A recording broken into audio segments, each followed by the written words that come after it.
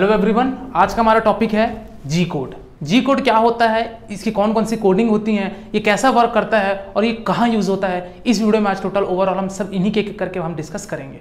सबसे पहले तो ये जब हम किसी भी इंडस्ट्रीज़ में जब हम सीएनसी मशीन का यूज़ करते हैं, यानी कि कंप्यूटर न्यूमेरिकल कंट्रोल का जब यूज़ करते हैं तो वहाँ पे हमारी होती है टूल यानी कि जो भी हमारा वर्क एरिया रहता है, वहाँ पे टूल उस डिजायर्ड लोकेशन में वो सारी वर्क करती है। तो वहाँ पे जो टूल की जो कमांडिंग होती है, यानी कि टूल को कितना मूवमेंट करना है, कितना कटिंग करनी है, क्या ऑपरेशन करनी है, ये सारी चीज़ हम सीएनसी मशीन के द्वारा तो करवाते हैं। लेकिन सीएनसी मशीन पे भी हम कैसे देते हैं? वहाँ पे हम देते हैं पार्ट प्रोग्रामिंग करके। अब पार्ट प्रोग्रामिंग का एक अलग से वीडियो है, आप वो देख सकते हैं। तो यहाँ पे पार्ट प्रोग्रामिंग का मतलब ये है कि हम वहाँ पे पार्ट प्रोग्रामिंग पे हम करते हैं कुछ कोडिंग्स और कोडिंग हम करते हैं तो वहाँ पे जो लिस्ट ऑफ़ कोडिंग्स होती है, यानी कि जो सेट ऑफ़ ब्लॉक्स होते हैं उनमें से एक कोड है हमारा जी कोड जैसे कि सीक्वेंस नंबर के लिए हम एन कोड का यूज़ करते हैं। यहाँ पे हम प्रिपरेटरी फ़ंक्शंस के लिए जी कोड का यूज़ करते हैं। हम लोग मिसलेनियस फ़ंक्शंस के लिए एम कोड का यूज़ करते हैं। और भी एफ़ कोड होते हैं टी कोड होते हैं एस कोड होते हैं। तो ये सारे जो कोड्स होते हैं तो एक पार्ट प्रोग्राम के अंदर वो मेमोरी स्टोर होती है और ये हम करते हैं सीएनसी मशीन के अंदर और सीएनसी मशीन कमांड करता है टूल को तो टूल हमारा उस डिजायर्ड मोशन पे जो भी हमको वर्क करना रहता है वो करके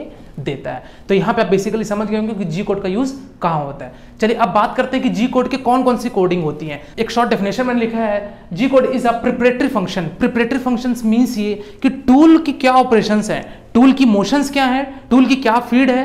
टूल कितने स्पीड से कटेगा? क्या उसकी कटिंग वेलोसिटी है? ये सारे चीज़ों का एक पहले से प्री प्लान फ़ंक्शन यानी कि एक पहले से हमको एक जो कोडिंग करनी रहती है, वो हम सेट ऑफ़ इंस्ट्रक्शन देते हैं अपनी सीएनसी मशीन को, एक पार्ट प्रोग्रामिंग के सेट ऑफ़ ब्लॉक बनाकर और हम उस सीएनसी मशीन के अंडर डालते हैं उस कोडिंग को और वो हमारा टूल परफॉर्म करता है, जो भी उसको परफॉर्मेंस करनी रहती है। तो यहाँ पे ये समझ गए होंगे कि प्रिपरेटिव फ़ंक्शन में इसकी टूल की क्या मूवमेंट रखनी है ओवरऑल उसकी टूल की क्या मोशन सेट क्या मूवमेंट है, इन्हीं के बारे में हम क्या करते हैं? जी कोड को इंस्ट्रक्शन देते हैं जी कोड कर बनाकर।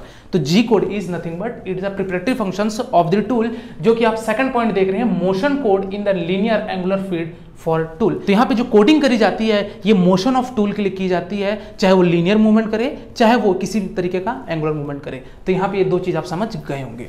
अब यहाँ पे आते हैं लिस्ट हम। यहाँ पे आप देख रहे हैं कोड है और यहाँ पे फ़ंक्शन है। बेसिकली ये जी कोड तो बहुत होते हैं नाइनटी नाइन तक भी जी कोड होते हैं। बट हमको यहाँ पे इतना ही पढ़ना है, जो कि हमको इंपॉर्टेंट फ़ंक्शन हम किसी भी ऑपरेशन के टाइम पे हमको काम आता है। यानी कि ये कहना चाहिए कि जो हम वर्क पीस करते हैं तो वहाँ पे जो मेजर कोडिंग्स होती हैं किसी भी वर्क ऑपरेशन करने के लिए तो वहाँ पे जो कोडिंग का यूज़ होता है तो यहाँ पे आप जो कोडिंग देख रहे हैं। ये टोटल आज हम 14 से 15 कोडिंग हम यहाँ पे देखेंगे। एक एक करके समझते हैं द हेल्प ऑफ़ डायग्राम यहाँ पे एक डायग्राम मैंने बनाया है। यहाँ पे एक एक कोड मैं आपको समझाऊँगा यहाँ पे डायग्राम के ज़रिए। चलिए स्टार्ट करते हैं। सबसे पहले तो ये, सबसे पहला हमारा कोडिंग है जी ज़ीरो ज़ीरो यहाँ पे लिखा है पोजिशनिंग ऑफ़ टूल और ब्रैकेट में लिखा है पॉइंट इसका मतलब ये है कि अभी ये मेरा वर्क पीस है। इसके ऊपर मुझे क्या करना है? वर्क करना है। यहाँ पे ये है मेरा टूल यानी कि ये है मेरा औज़ार सिंपली कह सकते हैं। तो इस टूल की हेल्प से मैं इस वर्क पीस पे जो भी मुझे वर्क ऑपरेशन करनी होगी, मुझे मैं करूँगा यहाँ पे। पहला कोड अगर है, जो हम पहला कोड ऑफ़ इंस्ट्रक्शन देते हैं, यानी कि पोजिशनिंग ऑफ़ टूल तो ये बताता है कि ये जो टूल है, इसकी सपोज़ मान लीजिए पोजिशन मुझे यहाँ पे रखनी है, ये इस जगह पे। तो मैं यहाँ पे ये जी ज़ीरो ज़ीरो के हेल्प से इस टूल की पोजीशनिंग सबसे पहले तो मैं यहाँ सेट करूँगा।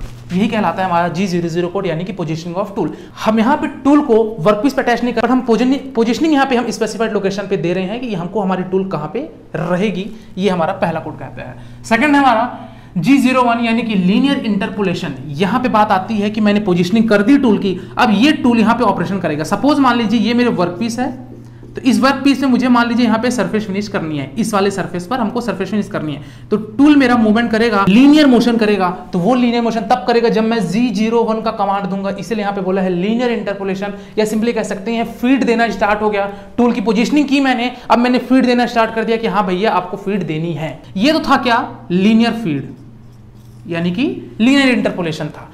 जी ज़ीरो टू ये कहता है सर्कुलर इंटरपोलेशन ब्रैकेट में लिखा है सी डब्ल्यू यानी कि क्लॉक वाइज डायरेक्शन में। अब यहाँ पे सपोज़ मान लीजिए ये लीनियर है, अब यहाँ पे आप देख सकते हैं, एक मेरा ये है कर्व अब ये कर्व है, यानी ये क्या है? क्लॉकवाइज डायरेक्शन है ये। तो यहाँ पे फ़ील्ड के लिए, यहाँ तक तो मैंने अपना क्या किया? जी ज़ीरो वन का यूज़ किया लीनियर इंटरपोलेशन के लिए जी ज़ीरो वन का। जैसे ही मुझे सर्कुलर मुझे, मैंने देखा यहाँ सर्कुलर पार्ट है तो वहाँ पे मैं जी ज़ीरो टू कमांड का यूज़ करूँगा, और यहाँ पे जी ज़ीरो टू कमांड की हेल्प से मैं एक सर्कुलर इंटरपोलेशन दे सकता हूँ सर्कुलर ऑपरेशन कर सकता हूँ, यानी कि क्लॉकवाइज डायरेक्शन में।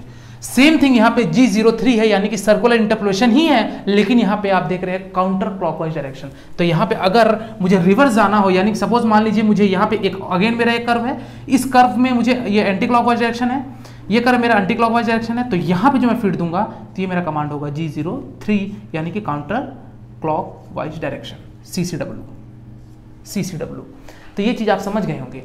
नेक्स्ट है मेरा जी ज़ीरो फोर ड्वेल यानी कि होल्डिंग टूल अब मेरा ऑपरेशन काफ़ी हो गया तो वहाँ पे टूल की जो यहाँ पे टिप होती है, वो हीट हो जाती है। टूल के टिप में हीट जनरेट हो जाती है फ्रिक्शन के कारण। तो इस टूल को अगर मुझे कुछ देर के लिए होल्ड करना है, कुछ देर के लिए स्टॉप करना है तो वहाँ पे मैं जी ज़ीरो फोर का कमांड यूज़ करूँगा। यानी कि यहाँ पे टूल सर्टेन टाइम के लिए वो यहाँ पे क्या हो जाता है उसकी पोजिशनिंग होल्ड हो जाती है। तो इसी तरीके से जी जो है लॉन्ग सर्कुलर इंटरपोलेशन और यहाँ पे आप देख सकते हैं क्लॉक डायरेक्शन यानी ये कहता है कि यहाँ पे है तो सर्कुलर मूवमेंट ही, यानी कि क्लॉक क्लॉकवाइज डायरेक्शन में ही है? लेकिन अगर लंबा हमको कोई सर्कुलर पाथ कवर करनी हो, यानी कि हमको लार्ज एरिया कवर करना हो वहाँ पे सर्कुलर पाथ में तो हम यूज़ करते हैं जी ट्वेंटी का, यानी कि लॉन्ग सर्कुलर इंटरपोलेशन इसी तरीके से आप देख सकते हैं G twenty one short circular interpolation है, यानी कि अगर हमको छोटा पाथ कवर करना है तो उस केस में मैं जी ट्वेंटी वन का यूज़ करूँगा, और ये भी हमारा रहेगा क्लॉकवाइज डायरेक्शन में। अब ये दो थे हमारे किसके लिए?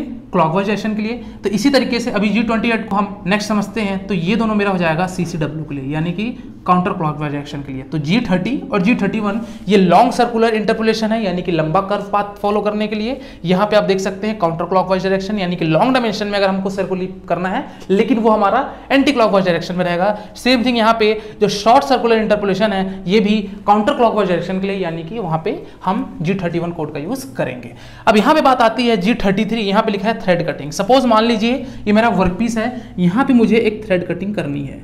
ये थ्रेड कटिंग करनी है। तो यहाँ पे जब थ्रेड कटिंग करनी है तो यहाँ पे मैं जिस कोड का यूज़ करूँगा, वो है मेरा जी थर्टी थ्री यहाँ पे आप देख सकते हैं थ्रेड कटिंग और ब्रैकेट में लिखा हुआ है कांस्टेंट यानी कि अगर मुझे एक इक्वल डायमेंशन में करनी है तो वो मेरा क्या कहलाएगा? Thread cutting G thirty three का कोड का यूज़ करूँगा। लेकिन यहाँ पे मान लीजिए थ्रेड मुझे कुछ यहाँ काटना है, यहाँ तक थ्रेड काटनी है अगेन मुझे यहाँ तक काटनी है, फिर यहाँ काटनी है। इस तरीके से अगर मुझे थ्रेड काटनी है, यानी कि ये वेरिएबल थ्रेड काटना है तो उस केस में मैं यूज़ करूँगा जी थर्टी फोर कोड का यूज़ जो कि थ्रेड कटिंग क्या है? ये वेरिएबल के लिए है। अगर मुझे एक सेम डायमेंशन पे थ्रेड कटिंग नहीं करनी है, तब। चलिए। लास्ट आता है G70 तो ये जो G70 है, ये टूल हमारा कहाँ से, कहाँ तक काटेगा? इसकी क्या डायमेंशनिंग होगी? इस डायमेंशन को भी तो देना पड़ेगा। तो G70 जो मेरा कोड यूज़ होता है, वो यूज़ होता है मेरा डायमेंशन के लिए, लेकिन वो डायमेंशन की जो यूनिट रहती है, वो रहती है मेरी इंच में, और G71 जो यूज़ होता है, वो डायमेंशन से यूज़ होता है, लेकिन ये मैट्रिक फॉर्म में होता है। तो यहाँ तक आप चीज़ समझ होंगे। अब एक लास्ट बचता है जी ट्वेंटी एट ये सारा ऑपरेशन होने के बाद, जैसे मान लीजिए मेरा ये वर्क पीस पूरा फाइनली इसकी ऑपरेशन कंप्लीट हो गई। मैंने जो भी मुझे वर्क करनी थी, मैंने कर लिया। तो इसको, इस पोजीशन को, इस टूल को वापस इसी पोजीशन में लाने के लिए मैं यूज़ करूँगा। जी ट्वेंटी एट का ही यूज़ करूँगा। यानी कि अब उसको अपने वास्तविक अवस्था में पहुँचाने के लिए मैं जी ट्वेंटी एट का यूज़ करूँगा। इसका यह मतलब है कि जो मेरा टूल था, वो प्रारंभिक स्टेज पे पहुँच गया और मेरे सारे ऑपरेशन कंप्लीट हो गए तो बेसिकली ये जो हमारे टोटल फोर्टीन से फिफ्टीन पॉइंट थे जी कोड के यही कोडिंग हमारे एग्ज़ाम में भी आते हैं और इतना आप पढ़ते हैं तो काफ़ी है। तो आई होप आज के वीडियो में आपको क्लियर हो गया होगा कि जी कोड क्या होती है, इसके कहाँ यूजेस होते हैं और किस तरीके से हम यहाँ पे जी कोड का यूज़ करते हैं। तो इस वीडियो में फ़िलहाल इतना ही, मिलते हैं फिर एक नए वीडियो में, एक नए टॉपिक के साथ।